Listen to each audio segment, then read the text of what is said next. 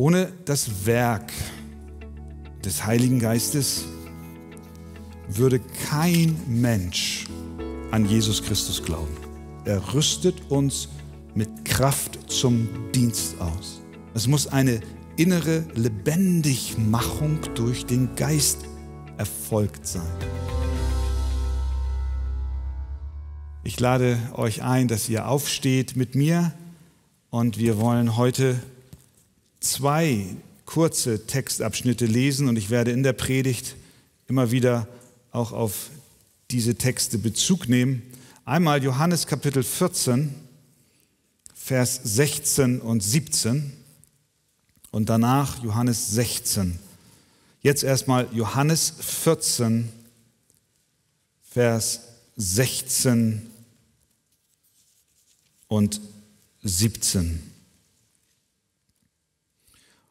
Und ich will den Vater bitten, und er wird euch einen anderen Beistand geben, dass er bei euch bleibt in Ewigkeit, den Geist der Wahrheit, den die Welt nicht empfangen kann, denn sie beachtet ihn nicht und erkennt ihn nicht.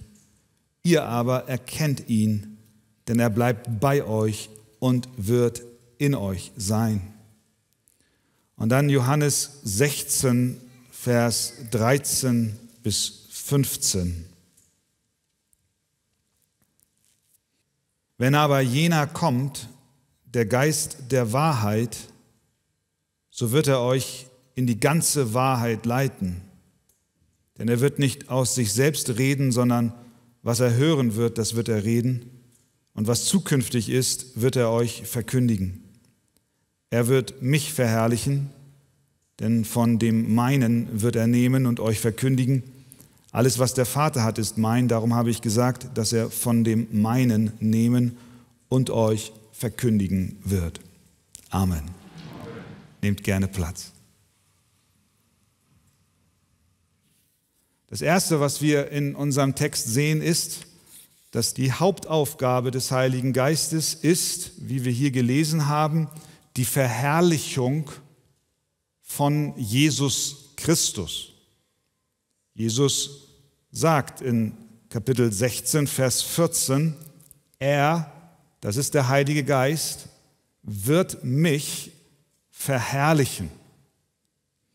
Das ist der Hauptauftrag, den Sohn groß zu machen.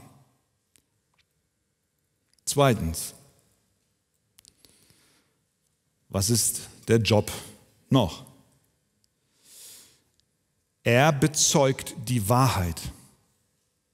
Die Menschheit ohne Christus folgt dem Vater der Lüge.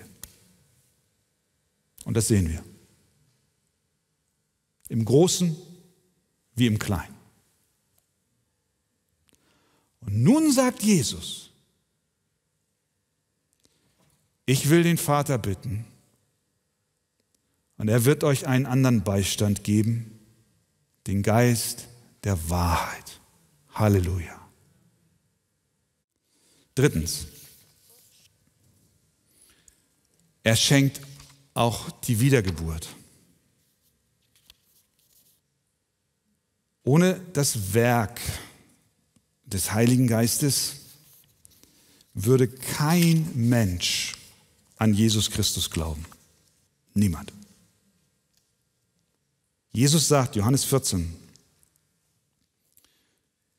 16, 17, ich will den Vater bitten, er wird euch einen anderen Beistand geben, dass er bei euch bleibt in Ewigkeit, den Geist der Wahrheit, den die Welt nicht empfangen kann. Die Welt, das bedeutet Menschen, die nicht an Jesus Christus glauben, können den Geist der Wahrheit nicht empfangen. Das ist ein hartes Urteil, aber es ist die Wahrheit. Die Welt Menschen ohne Gott können auf sich gestellt den Geist Gottes nicht haben. Deswegen ist es auch falsch, in dieser Weise davon zu sprechen, wir alle sind Kinder Gottes. In der schöpferischen Weise, ja, er ist der Schöpfer aller Menschen, aber in der geistlichen Weise überhaupt nicht. Sie haben den Geist Gottes nicht. Ich weiß nicht, ob du heute Morgen hier bist und jetzt vielleicht geschockt bist, weil du dachtest, dass die Mitgliedschaft in einer Kirche gleichbedeutend ist, dass du den Geist Gottes hast. Die Mitgliedschaft in der Kirche bedeutet überhaupt gar nichts, sondern es muss eine innere Lebendigmachung durch den Geist erfolgt sein. Jeder Mensch braucht diese Wirkung des Heiligen Geistes, denn ohne sie kann er weder geistlich sehen, noch erkennen, noch schmecken, noch hören und er nimmt das Wort der Wahrheit nicht wahr. Das ist der Grund, warum, wenn du mit jemand Ungläubigen über die Wahrheiten der Bibel sprichst, er dich entweder blöd anguckt oder dir feindselig gegenüber gestimmt ist, weil er sagt, das ist alles Quatsch. Er kann es nicht wahrnehmen. Jesus sagt es selbst, Johannes 3, Vers 3, zu Nikodemus der sich Jesus des Nachts näherte. Wahrlich, wahrlich, sagt er, ich sage dir, wenn jemand nicht von neuem geboren wird, so kann er das Reich Gottes nicht sehen. Er kann es nicht. Ungläubige Menschen können von Gott im rettenden Sinn nichts wissen. Der natürliche Mensch, 1. Korinther 2,14, aber nimmt nicht an, was vom Geist Gottes ist, denn es ist ihm eine Torheit. Und hier wieder, und er kann es nicht. Er ist schlichtweg nicht in der Lage. Genauso wie du einer Ratte nicht das Fliegen beibringen kannst. Sie kann es nicht. Genauso wie ein Pferd niemals bellen wird. Das kann es nicht. So wird auch der natürliche Mensch Gott in diesem rettenden Sinn nicht wahrnehmen. Jesus nochmal, das Original. Er sagt, niemand kann zu mir kommen. Es sei denn, dass ihn der Vater zieht, der mich gesandt hat. Sehen wir die Unfähigkeit von uns, uns Gott zu nähern? Wir können es nicht. Und doch sitzt du heute Morgen hier und lobst Gott an diesem Sonntagmorgen. Warum? Weil du es kannst? Nein, weil Gott seinen Geist gesandt hat, der dein totes Herz an einem bestimmten Tag in deinem Leben lebendig gemacht hat und du plötzlich sehen konntest.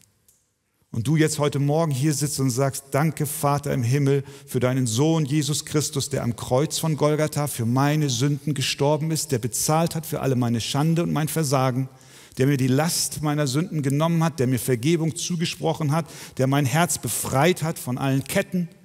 Und ich preise dich dafür, dass du das Erlösungswerk am Kreuz von Golgatha getan hast und dass du deinen Geist gesandt hast, der mir das alles erklärt und ich nun weiß und versiegelt bin durch den Heiligen Geist, ich bin dein Kind für Zeit und Ewigkeit und ich werde bei dir sein. Und wenn diese Welt auch zergeht und die Lügen überhand nehmen, weiß ich doch, die Wahrheit ist allein bei dir zu finden. Gelobt sei der Name unseres Herrn Jesus Christus. Amen. Der Heilige Geist hat einen wichtigen Job. Er hat dich lebendig gemacht. Ohne dieses Werk gäbe es nicht einen einzigen Christen auf der Welt. Aber der Geist arbeitet und er tut es und er hat es auch an dir getan.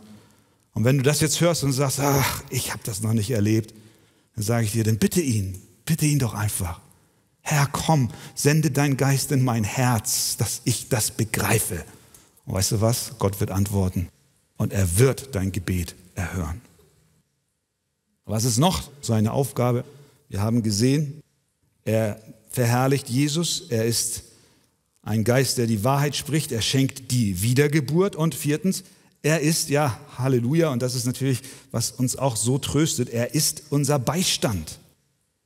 In Kapitel 14, Vers 16, Jesus noch einmal, und ich will den Vater bitten, und er wird euch einen anderen Beistand geben. Parakletos ist hier das Wort.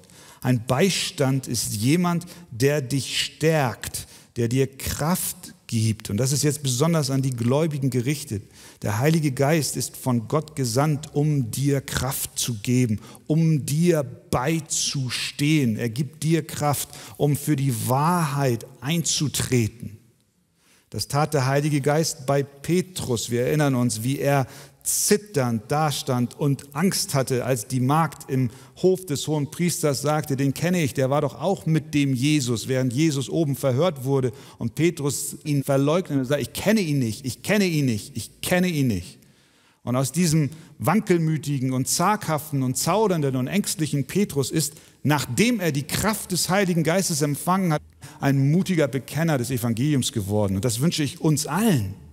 Das wünsche ich mir zuallererst dass wir diesen Beistand bekommen, der uns in der Form Kraft gibt, um ein Zeugnis für Jesus zu sein. Petrus stand dann, als die Leute sich wunderten, was zu Pfingsten geschah und alle durcheinander redeten, stand er auf und hat den Leuten gepredigt, die mächtige Pfingstpredigt. Und er hat ihnen erzählt, dass dieser Jesus Christus der ist, den ihr gekreuzigt habt. Das hat er mehrfach gesagt. Er hat kein Blatt vor den Mund genommen, sondern war mutig. Wie konnte das sein? Nur durch die Kraft des Heiligen Geistes. Es war nur möglich, weil er den Beistand hatte, den Jesus Christus ihm verheißen hat. Also, er ist ein Beistand in dieser Form, dass er dich stärkt. Aber er ist nicht nur ein Beistand im stärkenden Sinn, sondern er ist auch ein Beistand im tröstenden und auch im fürsprechenden Sinn. Denn dasselbe Wort, Parakletos, findet auch Verwendung in 1. Johannes 2, Vers 1, wo Johannes schreibt, meine Kinder, dies schreibe ich euch, damit ihr nicht sündigt. Und wenn jemand sündigt, so haben wir einen Fürsprecher, ein Parakletos, bei dem Vater, und hier ist es jetzt, Jesus Christus, den Gerechten. Mit anderen Worten, beide, der Heilige Geist als ein Beistand, ein Parakletos hier auf Erden für dich und Jesus Christus, ein Parakletos vor dem Vater, treten für dich als Christ ein. Du hast den besten Fürsprecher, den besten Beistand, den größten Tröster, den du dir überhaupt wünschen kannst. Und sie beten für uns, Hebräer 7, 25. Daher kann er auch diejenigen vollkommen erretten, die durch ihn zu Gott kommen, weil er für immer lebt, um für sie einzutreten. Jesus betet im Himmel für uns und wir wissen, dass in einer Weise auch der Heilige Geist für uns betet und uns hilft zu beten. Denn in Römer 8, 26 steht, ebenso kommt aber auch der Geist unseren Schwachheiten zu Hilfe, denn wir wissen nicht, was wir beten sollen, wie sich's gebührt, aber der Geist selbst tritt für uns ein mit unaussprechlichem Seufzen. Mit anderen Worten, wenn du nicht mehr weißt, was du beten sollst, wenn du dich allein fühlst und nicht mehr Kraft hast für irgendwas, dann kommt der Heilige Geist als dein Beistand und als dein Fürsprecher und als dein Tröster und das auch in die Situation hinein, in der du dich befindest. Wie immer sie aussieht, hinsichtlich deines Zeugendienstes, aber vielleicht auch die persönlichen Nöte, die du hast in diesen Tagen. Die Aufgabe des Geistes ist, dich zu trösten, dir beizustehen, dich aufzubauen, dir zu helfen und dir Mut zu geben, den Namen Jesu in dieser Welt zu verkündigen. Er ist also Beistand, Tröster und Fürsprecher. Ja, und dann natürlich, ihr Lieben, es klang schon an, aber als letztes sehen wir auch, dass der Heilige Geist uns Kraft für unseren Dienst für Gott gibt. Als Jesus auferstanden war, und den Jüngern mitteilte und sie vorbereitete, dass er in den Himmel fahren wird. Da haben sie diese Frage gehabt, Herr, ist jetzt der Moment, nachdem du jetzt auferstanden bist, ist jetzt der Moment, wo du dein Reich aufrichten wirst, also das Königreich David wiederherstellst in politischem Sinn. Ist jetzt der Moment, dass du uns befreist von diesen elenden Römern. Ist jetzt der Moment gekommen. Und was hat Jesus geantwortet? Es ist nicht eure Sache, die Zeiten oder Zeitpunkte zu kennen, die der Vater in seiner eigenen Vollmacht festgesetzt hat. Jesus hat gesagt, beschäftigt euch nicht mit der Frage, wann wird was geschehen. Das ist nicht eure Sache. Und dann sagt Jesus diese berühmten Verse, und das ist Beschreibung, Jobbeschreibung des Heiligen Geistes. Er sagt, sondern, tut das nicht, sondern ihr werdet Kraft empfangen, wenn der Heilige Geist auf euch gekommen ist. Und ihr werdet meine Zeugen sein in Jerusalem und in ganz Judäa und Samaria bis an das Ende der Erde. Das ist zu Pfingsten passiert. Die Verheißung Jesu hat sich erfüllt. Der Geist Gottes kam auf diese kleine Schar verängstigter Jünger, die nur menschlich gesehen keine Ressourcen hatten, um das Evangelium in die Welt zu bringen. Und er erfüllte sie mit Kraft aus der Höhe, sodass von diesem Moment an eine Welle losbrach und die Botschaft von Jesus sich Stück für Stück immer weiter verbreitete bis sie sogar nach Hamburg-Stellingen kam und du heute Morgen hier sitzt. Warum? Weil damals der Heilige Geist in Kraft auf die Jünger kam. Und damit hat er ja nicht Schluss gemacht, sondern er sendet seinen Geist auch heute noch in Kraft auf seine Kinder. Und wie das geschah und wie sich das entwickelte, das berichtet uns die ganze Apostelgeschichte, als sie im Gefängnis waren und der Engel kam und sagte, sie sollen gehen und das Wort mit Freimütigkeit verkündigen, gingen sie und predigten. Als Petrus vor dem Hohen Rat war, verkündigte er mutig das Evangelium. Überall, wo sie waren, standen sie auf und haben nicht in eigener Kraft, sondern in der Kraft des Heiligen Geistes gepredigt. Und als dann der Widerstand so groß wurde, in Apostelgeschichte 7, dass sie Stephanus steinigten und als Ergebnis der Steinigung die Christen sich zerstreuten in die Gebiete, heißt es in Kapitel 8, Vers 1, von Judäa und Samaria. Da wurde das Wort Jesu erfüllt, was sich dann weiterhin erfüllt hat bis heute. Sie gingen, da haben wir es wieder, nach Judäa und Samaria. Und interessanterweise würden wir denken, ja, sie gingen siegreich und triumphierend von Jerusalem aus. Nein, nein, nein. Sie gingen geschlagen, verfolgt und sie wurden zerstreut. Aber Gott hat diese Zerstreuung benutzt, um sein Wort wahrzumachen, dass nach Judäa und Samaria das Evangelium kommt. Und dann heißt es dort, diejenigen nun, die zerstreut worden waren, zogen umher und verkündigten das Wort des Evangeliums. Ich glaube, wir sind uns alle bewusst, das konnten sie gar nicht aus ihrer eigenen Kraft. Verfolgt, zerschlagen, gefangen genommen, gesteinigt und dann zerstreut nach Judäa und Samaria. Und was machen sie? Sie predigen weiter. Sie verkündigen weiter. Niemals ist das möglich aus eigener Kraft, sondern sie hatten den Heiligen Geist. Und der Heilige Geist, er ruft auch heute noch in diesen Dienst. Das ist das Werk des Geistes. Er rüstet uns mit Kraft zum Dienst aus. Und ich möchte heute Morgen in diese Halle hineinrufen, dass Gott auch heute noch zum Dienst beruft. Er ruft Menschen, Männer und Frauen, die sich bereit machen, ihm zu dienen. Und er lässt uns nicht dies aus eigener Kraft tun, sondern er gibt uns seinen Geist.